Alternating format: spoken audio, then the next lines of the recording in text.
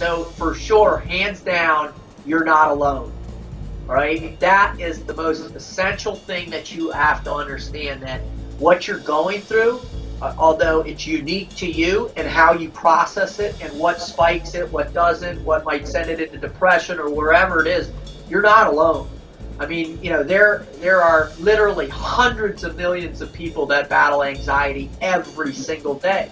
They just have learned kind of their own little unique system to deal with it, to reset it so it doesn't grow into a, a bigger fear. The big thing is to just recognize you're not alone, you're not by yourself, right? Other people are dealing with it, and really to work on your self confidence every single day and to have those tools that when your self confidence takes a hit, have some of the tools, like something that you can tap into that gives you confidence, right? Maybe it's just the thought of knowing, well, man, you know what? I'm a, I'm a badass drummer. And, and just that thought alone switches you back into that moment of empowerment. So the fact that you can create that, that you can share that with other people, that's empowering. And so just stay in that, for confidence, stay in that place.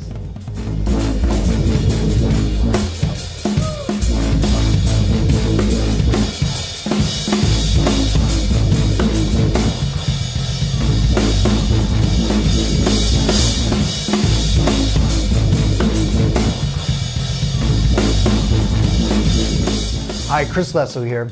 And I know as you push yourself on the path, what we call LTR life through rhythm, is these things that we face every day in the battlefield of life becomes the obstacles that we also face to become the best drummers we can be. But sometimes that obstacle becomes the way forward. So the bottom, sometimes what looks like the obstacle in front of you is actually the bottom of the step that you just need to step on to reach that whole new level and to just attack the person that you can be and to become your best self through drumming and in life. And that's the whole concept. And what is one of the biggest things that we face but anxiety? I've had challenges with this. I've seen this in all my students and really in, in the world today with massive distractions.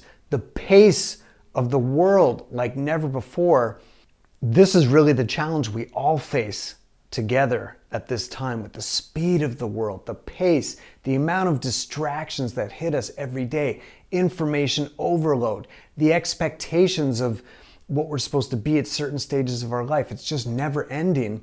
And drumming is a great way to bring that down in yourself and to, and to really just curb this down so you, you can you can face this and so you can breathe and so you can let out the stress. And we always say tension is the enemy. And tension is really tightness. Tension can be in your thoughts like never being enough always having something to do never being present always into the next thing. Oh i gotta be this for this person. I have to be this for this person. And this tension can be mental which goes into physical and which we're looking at it through the lens of drumming, but it, it can be in anything. And that's really what we're, we're gonna solve here through using drumming. Now, if it's not drumming for you, like I know lots of people that love to paint or go canoeing or, or to dance or to do martial arts. So, whatever it is to bring that anxiety down, you must do it because it's, it's one of the biggest challenges we face in the world today. But drumming is a fantastic way to bring this down. And something I recently learned was you can't be sad when you're dancing. Your body will not let you. Physiologically, it's just not possible. Now, you can be sad when you write, you can be sad when you garden, or just do different things that you could think of that could be a hobby. But when you dance, actually, like chemically and physiologically, what's happening hormonally in, in your body with dopamine and endorphins and serotonin levels and different things like that. You actually, it'll, you'll see it. It'll bring a smile to your face. And what is more connected to dancing than drumming? Drumming is literally the definition of dancing, which is like moving to rhythm and the joy of that. So, so drumming really is a fantastic way to curb anxiety and, and which is which is the next step is depression and and it can be a paralyzing force and we need to battle that. We need to find something to bring that down. So i had ex-navy seal david rutherford on my podcast. Now what an amazing person passionate sharp wants to wants to make the world better through the lessons he's learned from being on the battlefield. And the navy seals are really the warriors modern day warriors of today. They're just like on the cutting edge of developing themselves as people physically mentally tactically developing the craft of how they can they can serve basically. Like what better way to be a servant leader? These are the elite warriors of our time. And David Rutherford, fantastic person. He's he's not a drummer, but he's a, he's we learned so many things about drumming through him in, in this podcast. So check out the the full episode. It was about an hour and a half. It was it was so much fun to do. And we always say to to become better at drumming, you want to go outside of drumming. So if you want to be a better chef, go outside of cooking steal from golf, steal from archery, steal from painting, anything you can to make your craft better. So that's the real big secret of drumming is like if I really want to connect with people through this instrument, I have to learn about communication. I have to learn about breathing skills to to keep myself calm. I have to think empowering thoughts that serve the band and serve the audience. So all these things that are not just picking up sticks and doing exercises, they're the greater connection to what this is and to life, and that's LTR, Life Through Rhythm. So check out this piece from when we had David Rutherford, Navy SEAL, on the podcast.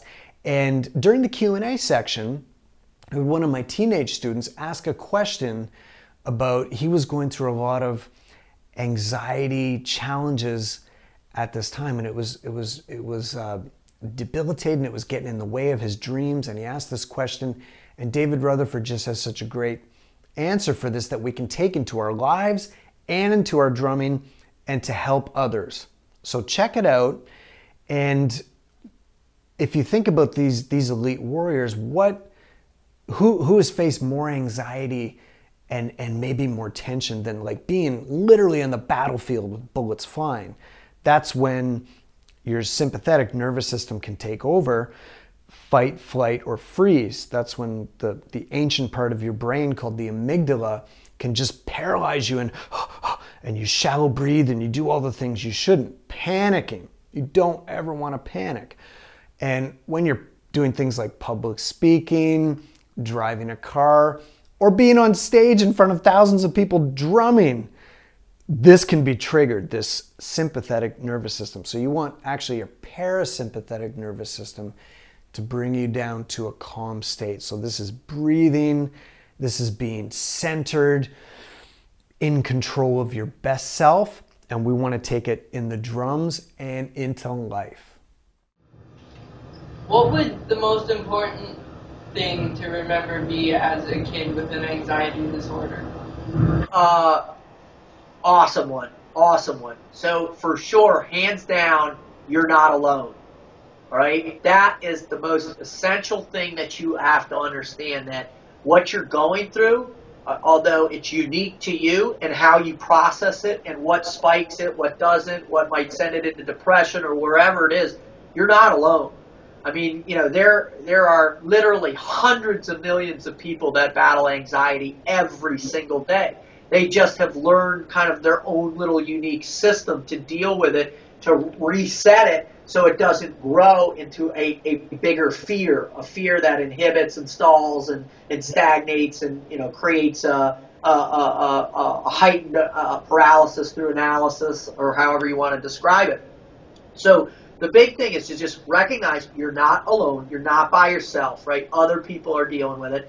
And then to think back, yeah, I, am telling you what, I, I, still deal with it sometimes too. I get in those moments where my PTSD comes back, I got to take a little break, I'll go for a run, and that clears it out, and I, I'm good, and then I can re engage. Um, the big thing that I, I started, why I always started with and how the whole Frog Logic kids started and, and those kids in Afghanistan was to recognize that confidence is key for you right now, especially moving into 15, right? Because you've crossed over that threshold of, of you know, that real kind of growth period for logical development where your logic kind of formulates and you kind of get cause and effect and you understand all that. Now you're moving into who, you know, the early stages of this next transition, which will be from really 15, 16 to about 26 years old. And, and, and once you hit that point, then you're kind of like, whoo, all right, I kind of know who I am now. and it's a long period of time and there's a lot of stuff you're going to go through. But guess what? That's the beauty of it um, and really to work on your self confidence every single day and to have those tools that when your self confidence takes a hit, maybe you get into a social situation and you're uncomfortable and you don't know what to say or do, and then you're like, ah, and you take off, right? That fight or flight hits and you get out of dodge, or you get into a confrontation and you know you lock up and you can't, your prefrontal cortex shuts down and you can't process, and you're like, uh, uh, uh, you know, all those moments have some of the tools, like something that you can tap into that gives you confidence, right? Maybe it's just the thought of knowing, well, man, you know what? I'm a, I'm a badass drummer. And, and just that thought alone switches you back into that moment of empower, right? Because one of the problems, and, and, I'm actually getting ready to release my third Kids book, which is all about anti-bullying, um, is about bullying and anti-bullying book, um, is one of the researches I, that I found is the spike of bullying shoots up in sixth, seventh, eighth grade, you know, kind of middle school, then kind of tapers back down, drops, drops, drop. But guess what? You know, the, the concept that people use intimidation, whether it's physical, mental, or spiritual, to one another, it never goes away. You never get to hit this point where there's this nirvana, this place where you can isolate or insulate yourself and you're ultimately protected from, you know, manipulative people. Now, the, the, the, way you deal with that, in essence, is you create this foundation of confidence that you can always rely on. And, and the cool thing is, once you get these, these baseline tools, you just have them evolve. Because I'll tell you what, right now, the, the person you are right now, 15, is not the person you're going to be at 21 or 26 or 45, right? You're going to keep evolving. That's the beautiful part of the human condition. So be, you know, be excited that guess what? It is new. It is, it, you know, you, it is. Oh my gosh! I, I don't know what's going to happen. It isn't. Get in, involved in that and say, wow, all right, this is kind of the cool aspect. It freaks me out a little bit, but I have these motivational triggers. This maybe one song. I remember for for me here, here big big. Every time my first deployment downrange in a combat zone every time before we'd go out the door, I you know I'd do my whole systems check. I'd make sure my gun was good, my kit was good, my, my medic stuff. I knew the the com plan. I knew every, I'd get every all my stuff, go through everything. Then I'd sit down in my chair in my, my, my tent. that was you know dust everywhere and sand and all this. Sit down. I put on my headset and I put in Jane's Addiction. Jane says right, and I would listen to that song. And when Perry Farrell, Perry Farrell's voice starts hitting, man it just brought me into that space of confidence. I don't know why it's that song. I don't know why it was that song. It was the mood I'm in.